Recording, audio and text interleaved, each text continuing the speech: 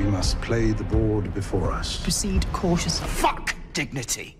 I want revenge. The reign of House Targaryen begins with this prequel to the popular HBO series Game of Thrones. Based on George R.R. Martin's Fire and Blood, House of the Dragon is set nearly 20 years before Game of Thrones, telling the story of the Targaryen civil war with King Viserys. With several dragons flying overhead, including a golden creature, likely Aegon's Sunfire, the trailer delivers on one thing the creators promised. With five new dragons intended for this season, there are sure to be more dragon fights, which only appeared briefly in Season 1. As Otto Hightower tells his grandson that the great houses will come to their side, armies can be seen gathering, bringing the war to the forefront. These armies include a glimpse of horses with the Lannister emblem and a fleet bearing Velaryon flags, highlighting key players in the conflict. Though the Lannisters have sided with Aegon, Corlys Velaryon and his wife, Rhaenys, choose Rhaenyra, a fact the trailer reminds us of as Corlys promises Rhaenyra his ships will follow her commands. The armies and dragons prove that Season 2 will be a bloody affair. The trailer also shows a few of the new characters. A more clear look at Cregan Stark Tom Taylor, the ancestor of some Game of Thrones favorites, sets up a major character for the rest of the series. Likewise, Alyn of Hull appears in the trailer. You revealed that he will be introduced as a crew member of the Velaryon fleet, which is how he is seen here, but his character will grow in importance. Season 1 ended with Rhaenyra in a dark place after the loss of her son. But the trailer shows that she isn't the only Targaryen ready to destroy her enemies. Aegon can be seen casually threatening his own council with a dagger and later announcing that he wants revenge. Showrunner Ryan Condal told you that Aegon and the other children of our leading ladies will have larger roles in Season 2, and the trailer reflects that.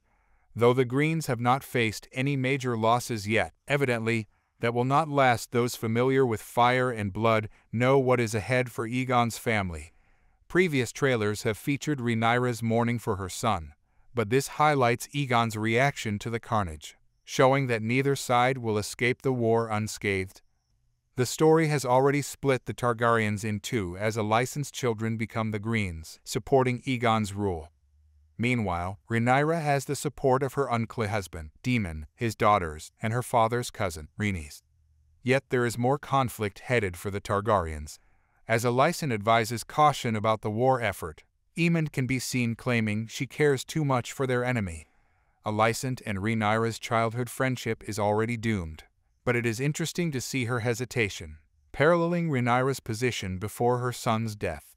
Yet Alicent's warnings of not wanting to win the war like this suggest Aemond will take drastic action in Season 2, alienating even his loving mother. Aemond is not the only one going too far in the Season 2 trailer. Daemon Targaryen is an important player in the war. Though the husband of the queen, not the ruler himself, Daemon pushed for war before Rhaenyra was ready and this dynamic will remain the same in Season 2. With his battle-proven dragon, Daemon is the Black's biggest asset, yet he could be a threat as well. Daemon's words, The realm's only hope is a leader strong enough to unite it, play as he prepares for war, yet he is confronted by Rhaenyra, who asks if he can accept her as his queen and ruler. There seems to be trouble ahead for these lovers, with infighting between key members of both the Greens and Blacks.